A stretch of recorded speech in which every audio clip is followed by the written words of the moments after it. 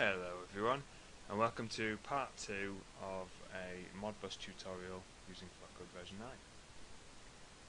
If you've seen part 1 then you know I'm using an ESP32 board connected via Wi-Fi to uh, Flowcode App Creator and I'm using Flowcode App Creator to control the ESP32 board. Modbus provides several um, several different means of um, storing data. Generally the slave will make all the data available and the master will then either write to that data or read from that data. In my program today I've modified things slightly. Before I had a simple LED that I could switch on and off. Now I've added a few more things. So I've drawn up a little circuit of what I've got connected here on my hardware. I have my LED on GPIO26 and instead of just turning this on or off I want to be able to dim it, make it brighter or dimmer. I have a potentiometer connected to GPIO32 and I want to be able to read the voltage uh, or the uh, analog representation of that voltage um, on uh, on that pin. And I also have a simple switch um, here, uh, which is connected to GPIO 14. So what have I done to my um, embedded program for the ESP32? Well, it's fairly straightforward.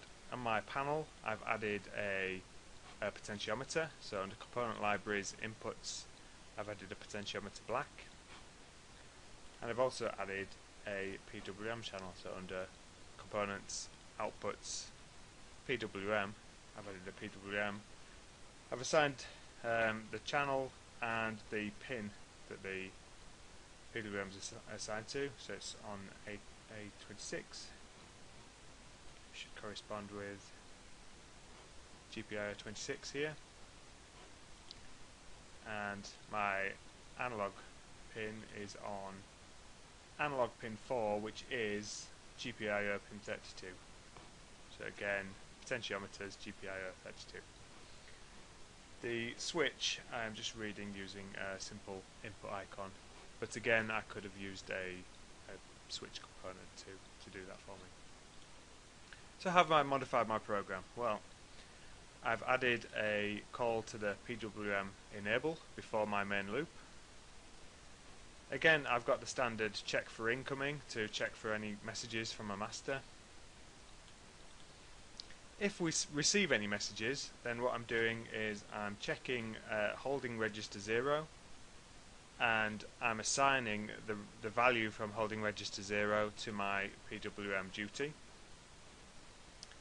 Also in my loop I'm reading the state of GPIO 14 via this input icon and I'm assigning that to digital input uh, channel 0 or address 0 I'm also getting the uh, integer value of my ADC using this call uh, getInt storing that in a local variable called ADC and then writing that ADC variable to my analog input address 0 you can see that for my Modbus component I've uh, I've re-added um, an address for the analog input and an address for the holding register as well as an address for the digital input. I'm not using the coils today um, but I'll keep it there just in case I want to use it in the future. So that's my ESP32 program. How has the app developer program changed? I have that right here. In here I have added some um, nice sliders. So under component libraries controls, I've added linear sliders. I've changed them so that they're uh, vertical orientation. I've changed the major and minor ticks so that they give uh, nice representations of the numbers uh, and not too crowded not too sparse.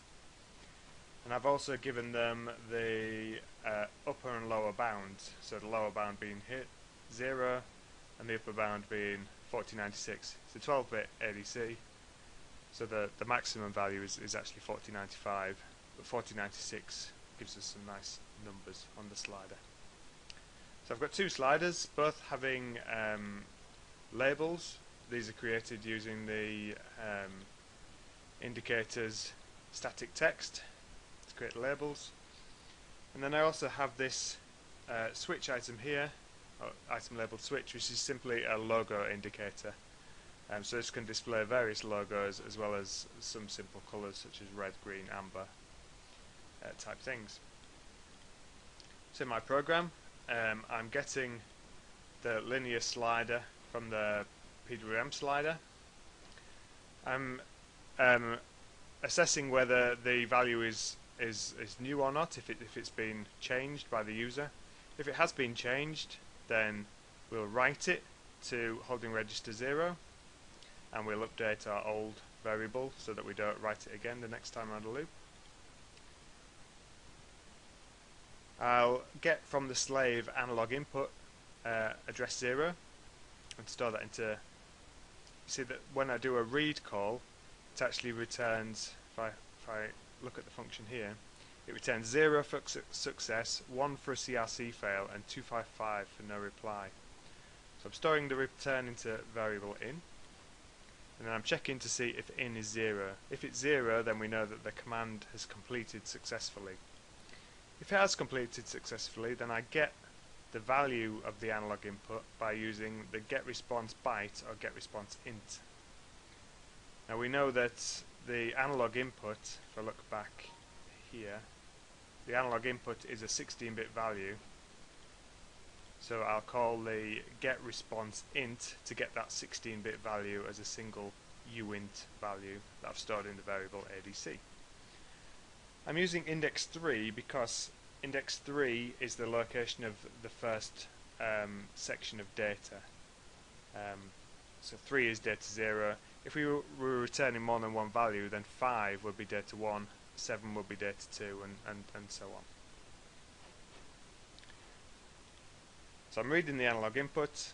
If success, then we get that value and we assign it to our ADC slider. Similarly, with the digital input, I'm reading digital input, address 0. I'm only reading one channel, uh, so we can read multiple channels here if we want. If in is 0, so if the command is successful, then this time I'm getting the response byte. You can see that again uh, for the index, uh, the value of 3 is data 0 and 4 would be data 1.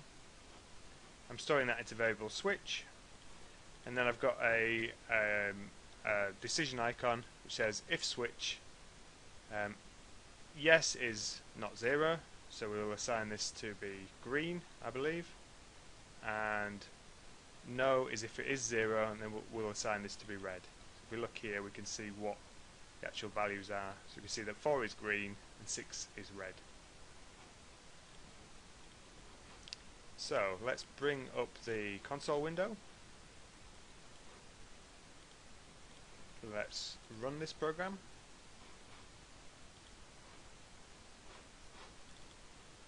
Let's bring back my camera. And you can see now that as I vary the, the PWM, the LED gets brighter or dimmer. hard to see, but you can see that the brightness is, is varying. If I turn the potentiometer, you can see that the ADC value goes up and down. And if I flip the switch, see that my uh, logo indicator changes state to match.